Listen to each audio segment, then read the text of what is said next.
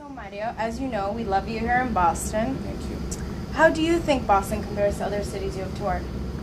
Um, it's well, it's it's one of those cities that uh, I fell in love with uh, from the, the first time I performed here for about four years ago. Uh, this is my third concert uh, in Boston. Wow. It's my first time uh, in the Majestic Theatre.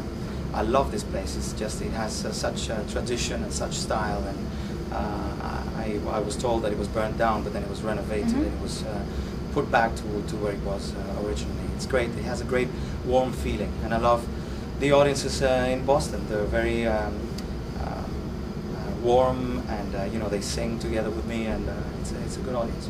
Well, we love having you. What are some of the most memorable experiences you've had in your career so far?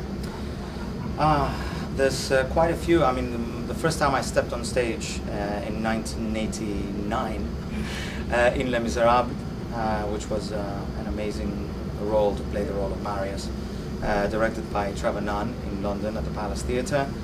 Um, that was probably one of one of my most memorable moments. Then 2000, to the year 2000 at La Scala, playing Tony in West Side Story. Uh, the first time I walked on stage was Placido Domingo.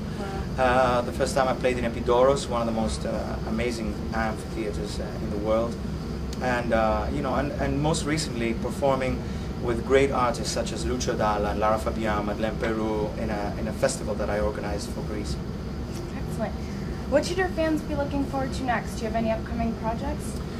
Yeah, uh, quite a few actually. First, uh, you know, the live uh, CD of uh, it's called Mario and Friends, Mhm. and uh, and we are hoping to uh, uh, offer part of the proceeds to, to the WCCCI, which is an, uh, an organization that we uh, uh, that I'm supporting uh, as of last year. Uh, and in fact, uh, you know, the, a great lady of today, a, a lady called Betty Williams, uh, who actually is uh, is the head of this organization and helps children from all around the world um, to uh, you know find a better home for themselves and, and to better their lives. And this is open to children of the whole world. You know, and it's basically building a model city which uh, was inaugurated only recently Mhm. on the 28th of September. Uh, a model city that will open its doors to, to children of the world. Um, and of course, uh, the uh, concert tour with Sarah Brightman, Mm-hmm. which I'm really looking forward to. Uh, there's about 30 dates with her all around the country in the States, and uh, uh, she's great. I mean, I've, I've met her before, but never had the chance of actually sharing the same stage. But this time, we're going to do it all. You know, we're going to sing Italian songs, English songs, and Incredible. songs from Phantom of the Opera, which of course Wow. uh, she's well known for. Well, we will be looking forward to seeing you next time, and it's been a pleasure speaking with Thank you. you. Thank you very much. Thanks so much.